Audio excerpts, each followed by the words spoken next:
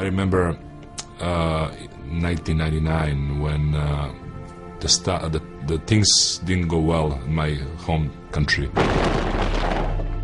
It's already been well documented about Vlade Divac's concern over his parents and brother in Yugoslavia, but he has been playing like a warrior. Yeah, I was gonna say that um, Vlade didn't sleep much, uh, and I could see it wearing down on him. Because I mean, we were watching it on TV right before practice. We'd practice and come right back to the TV to see if there was any new um, new leads. Uh, when our country was bombed, and uh, that was that was really that was really emotional and. Uh, kind of being physically uh, here, but uh, I think his heart was, uh, his mind was there back home.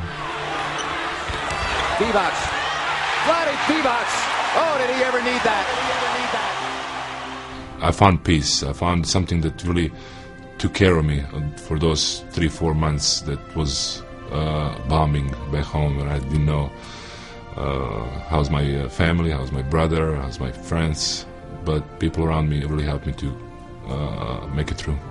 You know, when you go through certain instances in life, you know, one thing Vlade always told me, never take yourself too seriously. You know, you can see that, when, you know, just from the pain he's endured, from the, from the love and joy that he's put on people's hearts, but uh, Vlade's someone who cares. That's, that's really all I can say. I he really cares.